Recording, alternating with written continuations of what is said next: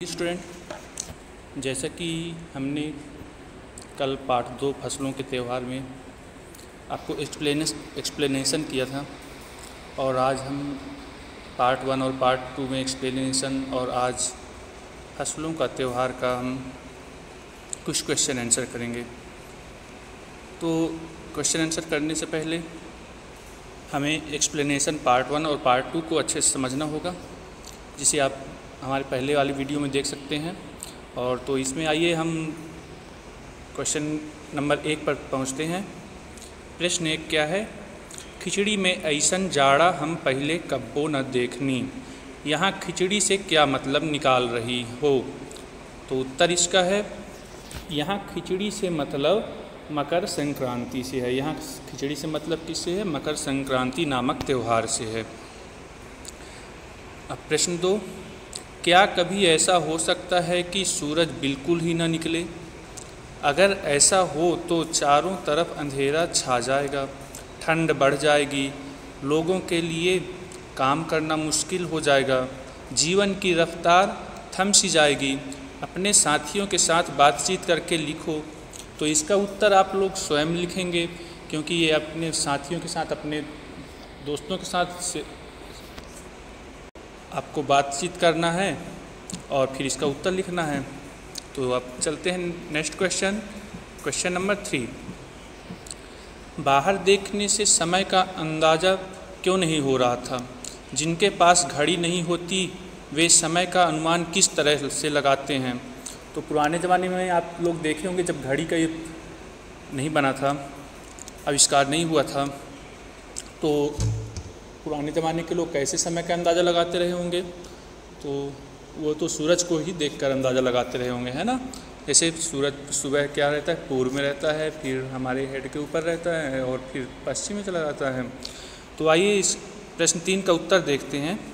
बाहर देखने से समय का अंदाज़ा इसलिए नहीं हो रहा था क्योंकि सूरज नहीं निकला था। जिनके पास घड़ी नहीं होती, वे समय का अंदाज़ा सूरज की गति और उसकी चमक से लगाते हैं।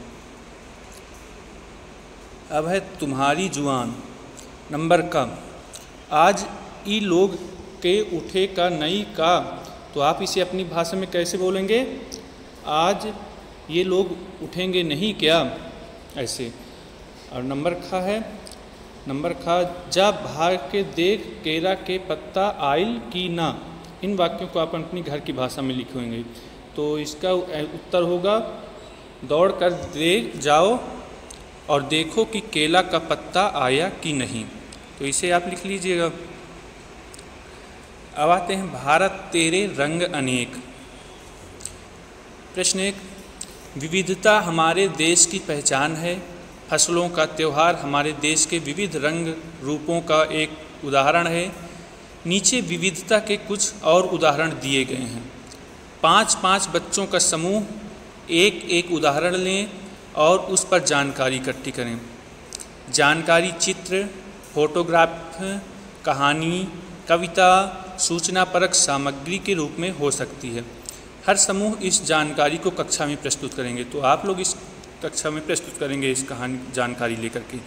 तो पहला है भाषा, उत्तर, भाषा। भारत में अनेक भाषाएँ बोली जाती हैं। उदाहरण के लिए कौन कौन सी भाषाएँ बोली जाती है? हिंदी, मराठी, पंजाबी, कन्नड़, तेलुगु आदि। और हिंदी यहाँ की मुख्य भाषा है, क्योंकि यह अधिकतम लोगों द्वारा बोली जाती है। यह हमारी राष्ट्रभाषा भी है। तो यहाँ की राष्ट्रभाषा क्या है? हिंदी है। क्यों? क्योंकि यह बहुत अधिकतम लोगों के द्वारा, भारत में रहने वाले अधिकतम लोगों के द्वारा बोली जाती है। अब आते हैं कपड़े।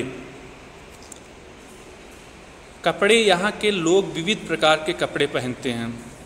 उदाहरण के लिए दक्षिण भारत में लुंगी पहनी जाती है, उत्तर भारत में सलवार कमीज पहना जाता है, घाघरा चोली, कुर्ता, पैजामा आदि पहने जाते हैं। अब है नेक्स्ट, थर्ड नंबर है नया वर्ष। तो नया वर्ष को देखते हैं। नया वर्ष, हिंदी कैलेंडर के अनुसार नया वर्ष होली के दिन होता है। यह भिन्न भिन्न प्रदेशों में भिन्न भिन्न नामों से जाना जाता है। तो नया वर्ष कहाँ होता होता है, कब होता है? होली के दिन होता है। और यह विभिन्न प्रदेशों में विभिन्न नाम से भी जाना जाता है। अब है हमारा भोजन। भोजन यहाँ, भोजन में विविधता देखने को मिलती है। दक्षिण भारत में इडली, डोसा मशहूर है तो उत्तर भारत में चावल, दाल, रोटी, सब्ज़ी, राजमा आदि पसंद से खाए, खिलाए जाते हैं। और वहीं देखें हम लोग पश्चिम बंगाल में तो पश्चिम बंगाल में चावल, मछली बड़े शौक से खाया जाता है। तो इस उत्तर को भी आप अपनी कॉपी में नोट करते जाइए। अब आते हैं नंबर प्रश्न दो पर। तो प्रश्न दो क्या है? तुम्हें कौन सा त्यौहार सबसे अच्छा लगता है और क्यों? इस दिन तुम्हारी दिनचर्या क्या रहती है? तो आप इसे अपने जो भी आपको जो त्यौहार अच्छा लगता है, आप उसके बारे में भी लिख सकते हैं। यहाँ पर हम होली के बारे में लिख रहे हैं, जिसको होली पसंद है। तो उत्तर हमारा, होली का त्यौहार मुझे सबसे अच्छा लगता है, क्योंकि इस दिन लोग ऊंच नीच का विचार भूलकर एक दूसरे के गले मिलते हैं और खुशियाँ मनाते हैं। इस दिन मैं सुबह से ही काफ़ी सक्रिय रहती हूँ। तरह तरह की पिचकारियों में रंग भरकर लोगों पर फेंकते हैं। और क्या होता है, स्वादिष्ट पकवान खाता हूँ और नए कपड़े पहनता हूँ। तो होली के बारे में हुआ ये। तो आज आप बस प्रश्न दो कर, तक करिए और इससे आगे का प्रश्न उत्तर हम अपने पार्ट दो में समझाएँगे, जिसे आप अपनी कॉपी में करते जाइएगा। लेकिन आज आप यहाँ तक कंप्लीट कर लीजिए। ओके धन्यवाद। आपका दिन शुभ हो।